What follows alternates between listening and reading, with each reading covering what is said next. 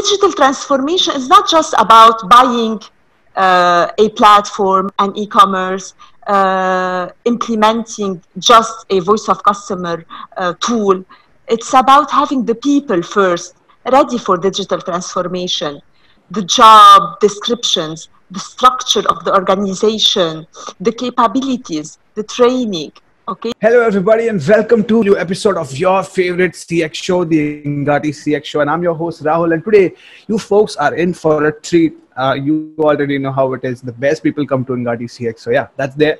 And we have a customer experience expert with us on the show. But before I introduce you to our guest, allow me to introduce you to the magic of Engati. Engati is the world's leading multilingual no-code chatbot platform available across 14 channels with 35,000 bots created across 186 countries in every domain and use case. Engati has also been recognized as a top platform by Inc.com, TechWorld, CIO, and many others. Now, we run the Engati blog, the video channel, and of course, your favorite Engati CX podcast. You guys absolutely love that, receiving upwards of 400,000 visitors annually.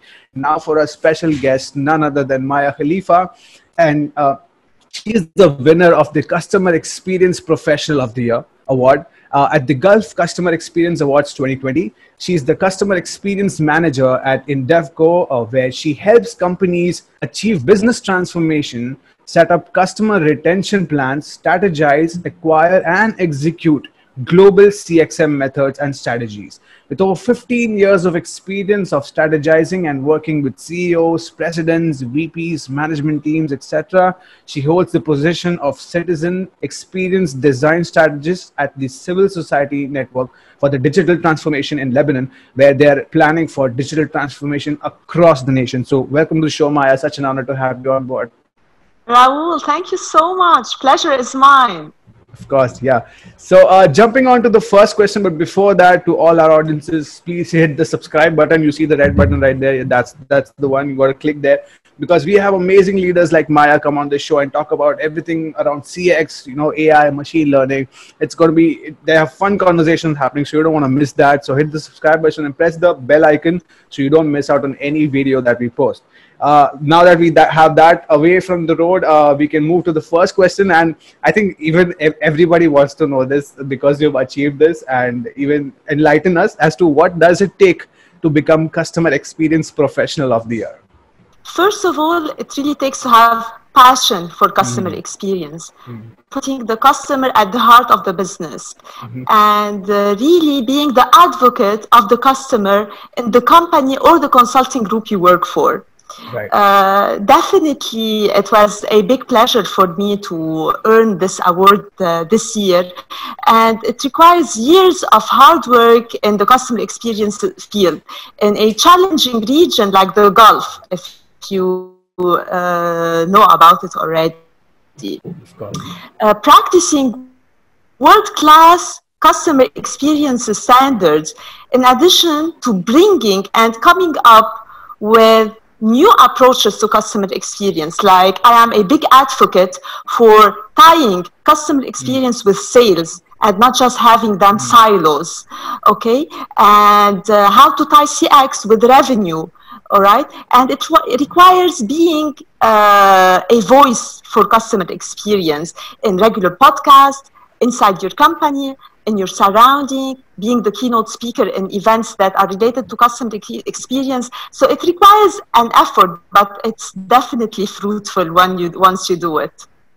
Absolutely, and uh, I mean you are the living proof of that because uh, definitely having an award of this stature means a lot to you and your company. Definitely, so congratulations for that and uh, yeah i mean i think it's something that that's there's not a secret formula to it. I think that's how it is. If, let me know if i'm wrong. Maybe it's it's mostly uh, being present in the scene and knowing what's going around and actually being uh, you know active in the whole customer experience environment. Is that what you're talking about?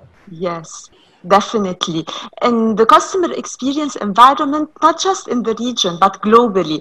So, Hmm. uh, for instance, like my connection with you today and being uh, part in uh, such events and uh, voicing customer experience continuously. Like on the 19th of November, I'll be a panelist at the International Customer Experience Awards. So it requires this continuous effort in the customer experience. So not just the work, but uh, discussing customer experience with people uh, knowledgeable like you and sending out uh, these best practices to people who are new in the field or the people who are not directly in the customer experience field but they are in their companies trying to bring customer centricity at the forefront Right, absolutely. Yeah, it all starts with the mentality. You got to have the CX mentality right, and then things Yeah. fall in place. Absolutely.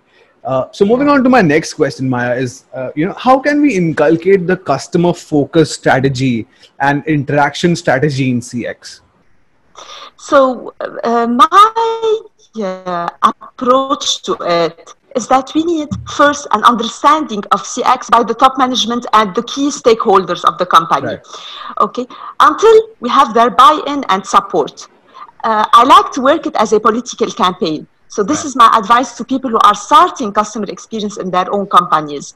Uh, work it as a political campaign. Sit one-on-one with the involved parties and talk, discuss how the customer experience strategy should be. And accordingly, instead of being a silo, co-develop the customer experience strategy all together. So it's top-down approach. And then you implement it across the organization so that even the people who are not in, uh, dealing directly with customers, they feel they, uh, they have an obligation towards the customer. Uh, they have an obligation to do their work in an excellent manner so that in the end, customer uh, feels uh, loyalty and advocacy towards us. So my approach also is to do employee campaigns, employee workshops. Try your best uh, to have the employees before the customers understand the customer experience and own it and not just owned by the person who is doing customer experience it's owned by everybody inside the organization uh, so this approach will make all concerned parties feel that they are member of this. It, I like the example of uh, NASA. You'll have people sweeping the floor, and if you ask them, "What are you doing?" they'll tell you, "I'm helping the man land on the moon." All right. So this approach where everybody in the company feels concerned about customer experience. So it's not just about sales; it's about all the employees within the organization. Absolutely. I think it's like a philosophy that uh, companies follow. Uh, and, uh, you know, it has to be like every single aspect of the company or the business has to be on board with it. And unless you guys completely don't believe in this, uh, it doesn't really pick off that well. Uh, I think that's what's important as well. Yeah. Definitely, definitely. I totally agree, Rahul. Exactly. So, uh, moving on uh, to the next question, and now that we spoke about what exactly is CX, the uh, approach. Now, Maya, a lot of people who are really starting off businesses, very young entrepreneurs, uh, are watching the show. So, if you had to give an advice as to where should businesses start with digital transformation and how can they sustain uh, the implementation of uh, something like digital transformation?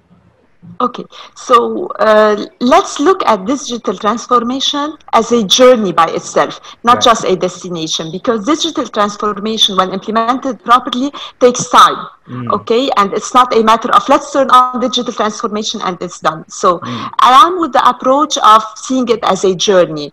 Uh, now more than ever that digital digital transformation is a need for companies and you will hear more often transform or die okay? So uh, after covid people start to started to understand the concept of the need for digital transformation and the inability to do business just the old way.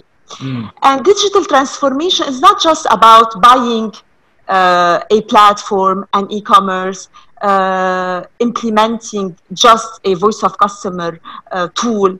It's about having the people first ready for digital transformation, the job descriptions, the structure of the organization, the capabilities, the training, okay? So that when for instance if we're doing a digital transformation inside the organization the employees should understand what's being done so that if they are asked by customers they will understand how to answer. Mm.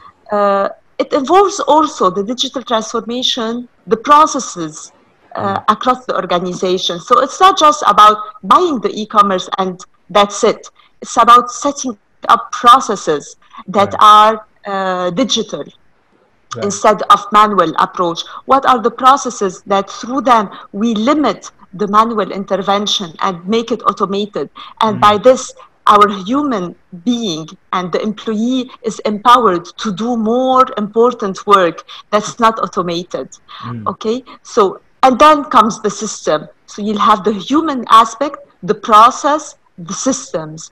Okay, and I think when you combine the different uh, matters into each other and set accordingly the proper plan, companies can reach easily digital transformation and smoothly now more than ever. Absolutely. Yeah, uh, you know it's it's very surprising when you uh, when you break it down like that because usually what people like you know maybe third party people or people who are not very familiar with this they think that this is one strategy you know that we have to implement and it's done. It's not like that. There are parts to it. There there is a yes. set way to it and it's a journey at the end of the day. I mean it's not one destination like you mentioned. Yeah definitely. Right. Absolutely. Uh, so now talking about citizen experience and i think uh, you're an expert in that section as well. And you know uh, what this intrigues us uh, as to what is the citizen experience in the 21st century according to you yeah so uh, I am I am honestly very proud to be uh, a woman who is leading customer experience and citizen experience in the Gulf, which is uh, a region that is very close to my heart, and in the Middle East. Uh, so uh, citizen experience, if you may know already, uh, uh, deals directly with ha- having transparent and absence of corruption inside that country. Because with citizen with the digital transformation and the e-government you'll ha- you'll, be, you'll be able to question how every penny is uh, consumed by the government. Mm.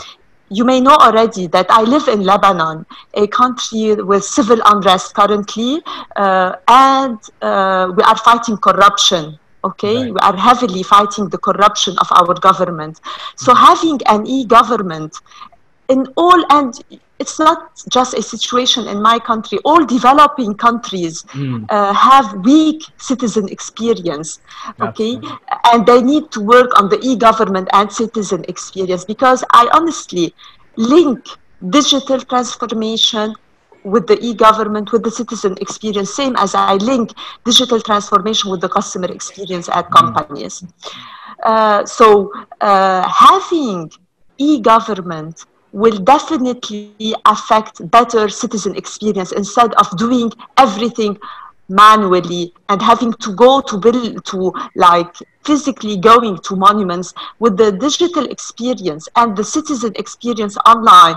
At the comfort of any place you are you just access and uh, see the status of any order you may have or any matter that you are working on inside your country yeah uh, you know first of all uh, uh you know big big uh, you know congratulations and shout outs to you because uh, working on something like this uh, takes a lot of guts and you know because in a way you are challenging the government and and and it is very necessary also because in developing nations you know it is very important to have that transparency among the government and the citizens. So that's a fantastic and a very futuristic vision that you have right there Uh, but digging more into this right so uh, according to you what do citizens really want out of their digital experience with the government as in what will be the expectations and how can we fix the gaps Definitely. So, this is a very interesting question because with citizen experience, citizens have to feel that any operation that they have to do should not be a burden for them. Mm. Okay, uh, when you don't have a citizen experience, everything feels like a burden. When it's time to renew your papers, oh my God, it's a big burden for you because everything is offline. And when you have absent citizen experience and the e-gov in developing countries, in many times you have corruption and right. you'll have to pay. And I'm sure you've heard about it. You'll have to pay because it's all offline. You'll have to pay money to this person and that person so that your transaction is processed easily. Absolutely. With the citizen experience, you'll have accents of this. You'll, I tie citizen experience to the citizen experience, citizen happiness rate. Okay, uh, like in UAE, in United Arab Emirates, they measure how happy the, the mm. citizens are. Hmm. Okay, mm. uh, so I tie it directly to the happiness rate, to the ease and uh, coming from a business background these are all concepts that we are regular we are regularly uh, put in like ease of doing business. So how easy is it uh, from a citizen experience point of view uh, to make operations with the with the government? How easy it is to track the status of uh, your operations okay mm. instead of uh, following up offline and going to the place you'll have to at the ease and comfort of uh, you, the place wherever you are. Uh, you can track the status of your orders.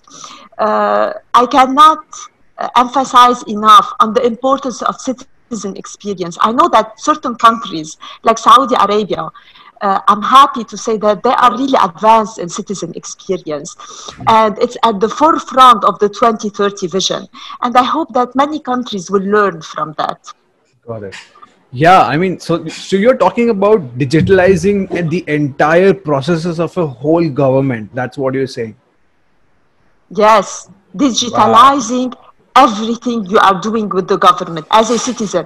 Even when the government is offering you uh, services, okay, that are added value services, okay, mm-hmm. meaning by this that are not basic services, they are added value from the government. These should have a citizen experience perspective and point of view so that the citizen uh, feels happy and enjoy to do these operations. Mm-hmm. Definitely. I mean, I think if that is implemented, a lot of uh, uh, lives will be eased uh, because, uh, like you mentioned, uh, you know, renewing a lot of government papers, licenses is a headache when it comes to a lot of, you know, uh, developing countries because of the corruption and all of that.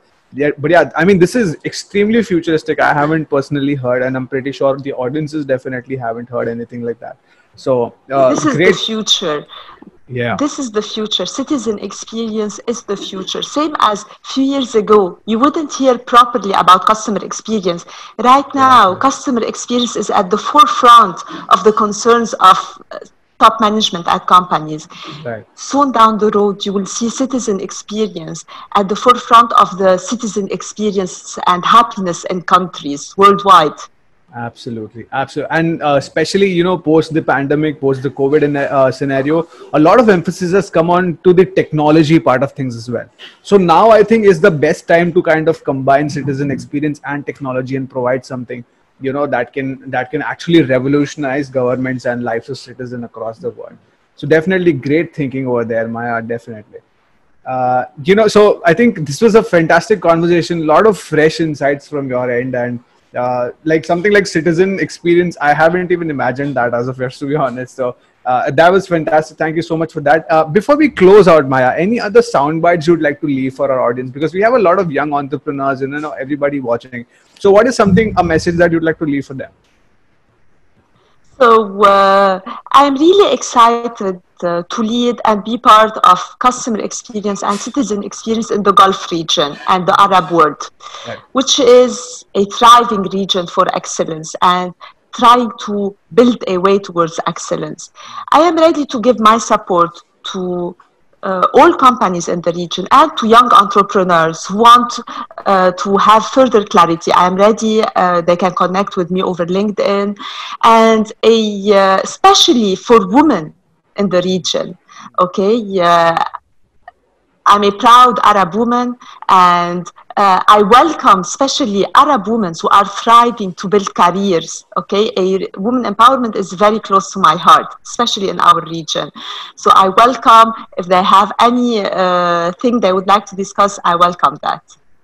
Well, there you have it, ladies and gentlemen. Maya Khalifeh with a beautiful message out there. I'll definitely leave all the links, social links to Maya's LinkedIn and all of the other websites what else do where else do you want uh, the uh, audience to reach out to you maya is linkedin any you have a website anything like that uh, we have www.indevcoconsultancy.com right they can Absolutely. reach out to me from there fantastic. So we will be leaving all the information uh, to reach out to maya in the show notes. So definitely check out the description. Make sure you you know reach her uh, and she'll be able to help you definitely. And thank you so much maya for giving us your time. Your insights have been really valuable and know our audience are really going to enjoy the interview. Appreciate thank that. thank you so much Rahul. of course. And we'll be back with a brand new expert and a brand new episode soon. So stay tuned and we'll see you around for the next one